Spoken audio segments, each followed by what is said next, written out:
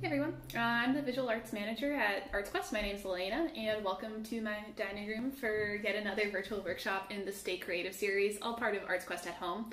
Um, today I'm going to talk to you guys about one thing you can do with some of these toilet paper rolls that um, I'm sure at this point everybody has toilet paper. I bet some of you are still sitting on a throne of hoarded toilet paper. Uh, so hopefully we all have these at home. The other thing I'm going to use is masking tape and maybe scissors, haven't decided yet.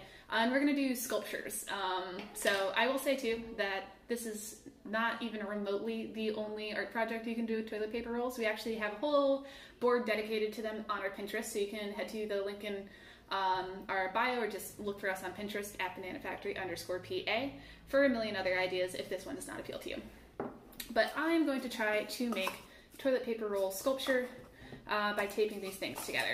And so if I were to just like go like this, you might, you could probably kind of tell, yeah, it's still a toilet paper roll. Uh, so I'm gonna kind of change up some of my toilet, toilet papers. I'm thinking, I'm feeling like a dog. I wish I had a pet, but alas, not allowed in my apartment. So I'm going to use one roll for the body, and that's way too big for the legs. So I'm gonna cut, I'm gonna cut this toilet paper roll down, and maybe I'll try to turn it into four individual legs. So I'm gonna cut it more or less in half.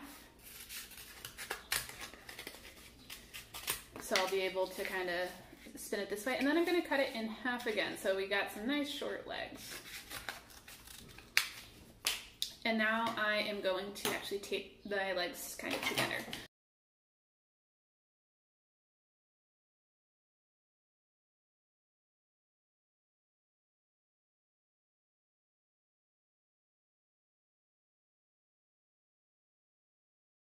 We have the body looking pretty good, kind of just like a cardboard tube with mini cardboard tubes attached to it.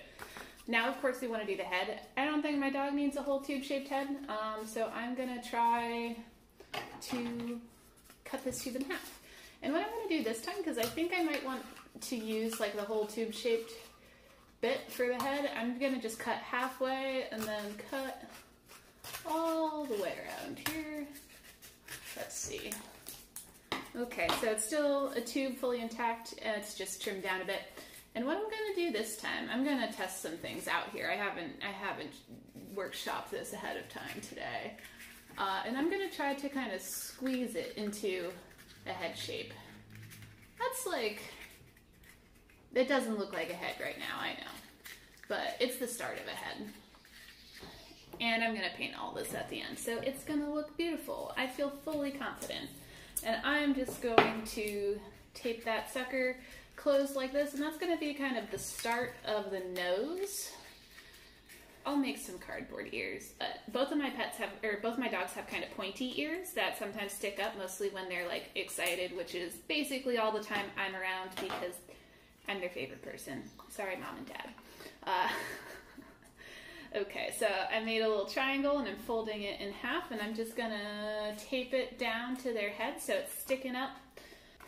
So yeah, I've got my little ear uh, with a little foldy bit on it and I'm going to attach it to the front of the head.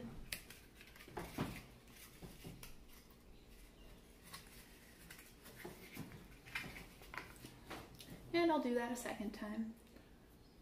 So I got the start of my dog head with some ears. And I think what we really, I, what I really need to make it seem more like a dog head is kind of a more developed like snout. And so I'll do like a little bit of cardboard on the front here. I don't need a whole lot because it's already looking a little bit dog-like, right? Um, oh, this is gonna be cute. So I think just like bringing out the nose a little bit more, I just have this little bit of cardboard and I'm just gonna glue it, tape it down like this so it makes the nose look a little bit longer. Cool beans. So I got my dog head like that. And now I just have to attach it to the body. And I don't know, I'm thinking about it and I'm kind of okay with it just being stuck on there like that. You could try to fashion a neck out of cardboard, out of tape, whatever. So I did a little roll of tape on the bottom just to stick it in place, but now I'm gonna add some extra tape to make sure it's really secure.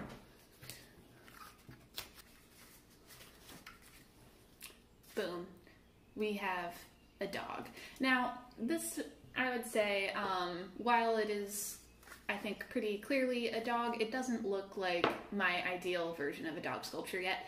Uh, so what I'm going to do next, I'm going to kind of add some extra tape. This step might be optional, but I want to make sure it's really secure when I go to paint it. So I'm going to kind of cover uh, some areas with paint. Like I don't, I don't want it to have a hole in the butt, so I'm gonna like cover up with tape here and here and maybe on the sides a little bit, um, just to make sure it looks really like well-rounded, like a full shape like a dog. So here we go.